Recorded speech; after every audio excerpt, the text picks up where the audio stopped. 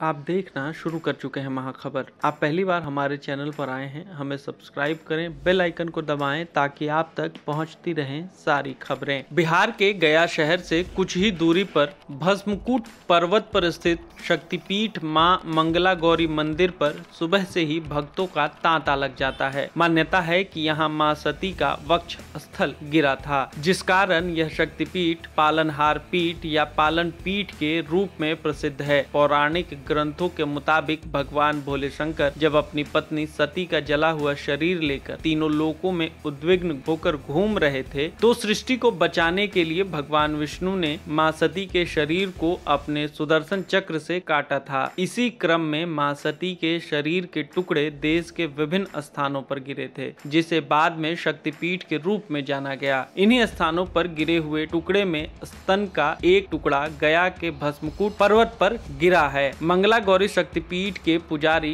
लखन बाबा उर्फ़ लाल बाबा कहते हैं कि इस पर्वत को भस्मकूट पर्वत कहते हैं। इस शक्तिपीठ को असम के कामरूप स्थित माँ कामाख्या देवी शक्तिपीठ के समान माना जाता है। कलिका पुराण के अनुसार गया में सती का स्तन मंडल भस्मकूट पर्वत के ऊपर गिरा, जो बाद में पत्थर बन गया। इसी प्रस्तमयी स्तन मंडल में मंगला गौरी मान्यते निवास करती हैं, जो मनुष्य शिला का स्पर्श करते हैं, वो अमृत को प्राप्त कर ब्रह्मलोक में निवास करते हैं। इस शक्तिपीठ की विशेषता यह है कि मनुष्य अपने जीवन काल में ही अपना श्राद्ध कर्म यहाँ संपादित कर सकता है। मान्यता है कि इस मंदिर में आकर जो भी सच्चे मन से माँ की पूजा अर्चना करता है, माँ उस भक्त पर खुश होकर उसकी मनोकामना पूर्ण करती हैं। ऐसी मान्यता है कि यहाँ पूजा करने वाले किसी भी भक्त को माँ मंगला खाली हाथ नहीं भेजती। इस मंदिर में साल भर श्रद्धालुओं की भीड़ लगी रहती है। यहाँ गर्भगृह में ऐसे तो काफ़ी अंधेरा रहता है, परंतु यहाँ वर्षों से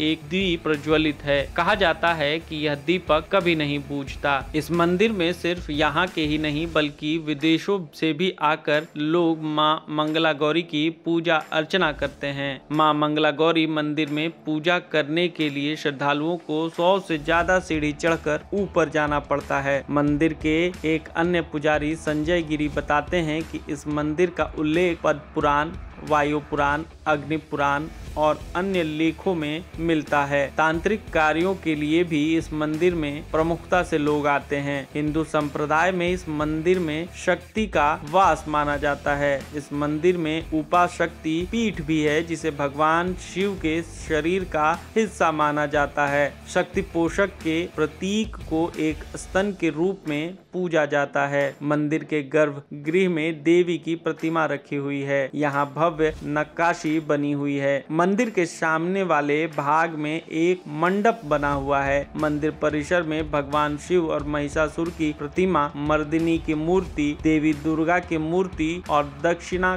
काली की मूर्ति भी विराजमान है। यहाँ कई और मंदिर भी हैं। यहाँ नवरात्र में प्रतिदिन भक्तों की भीड़ जुटती है, परंतु महाअष्टमी व्रत के दिन यहाँ बड़ी संख्या में माँ के भक्त पहुँचते हैं। आपको ये वीडियो कैसी लगी, हमें कमेंट सेक्शन में जाकर ज़रूर बताएँ। ज़्यादा से ज़्यादा शेयर करें सब्सक्राइब करें। बने रहें महाखबर के साथ।